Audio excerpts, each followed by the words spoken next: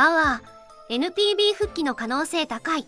野球に加入したトレバーバウアー投手33前で NA が日本経済新聞のインタビューに応じ日本の複数球団から獲得オファーを受けたと明らかにした。メキシコでは5月上旬までの5試合に先発予定。大リーグ球団からの獲得希望がなければ日本復帰の可能性も浮上する。もうつ都合で金使っちゃったわ。でも戦力的にバワー欲しがりそうな球団いくつかあるよな。ヤクルトはガチに欲しいが外国人の枠あったっけ？筒香とバワーでハメちゃん完全体やん。ドジャース先発不足申告やしバワー戻そうよ。いらないって球団はないやろ金を出せるかどうかだけの話で。先発ローテ揃ったからもういらんばい。バワーって不起訴やったんやろ？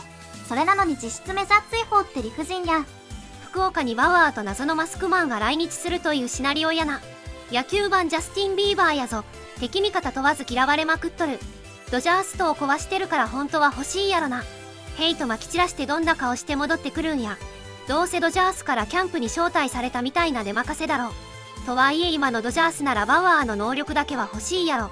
ご視聴ありがとうございました。